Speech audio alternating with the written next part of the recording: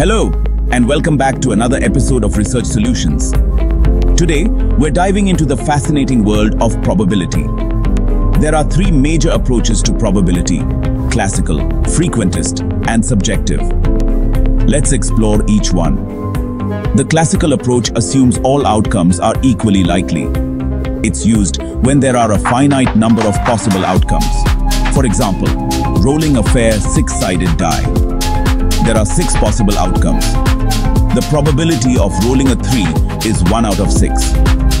Next, the frequentist approach focuses on experimentation and observation. Conduct an experiment multiple times and observe the outcome. The probability is the proportion of times the event happens. Imagine flipping a coin 1000 times. The result gets closer to the true probability, which is 0.5. Finally, the subjective approach is based on personal belief or judgment. It's used when there isn't enough data or the event is unique.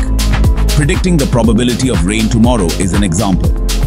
You might say there's a 70% chance of rain based on experience. Each approach has its strengths and is used in different problems. Thanks for watching and don't forget to subscribe for more insights from Research Solutions. See you next time.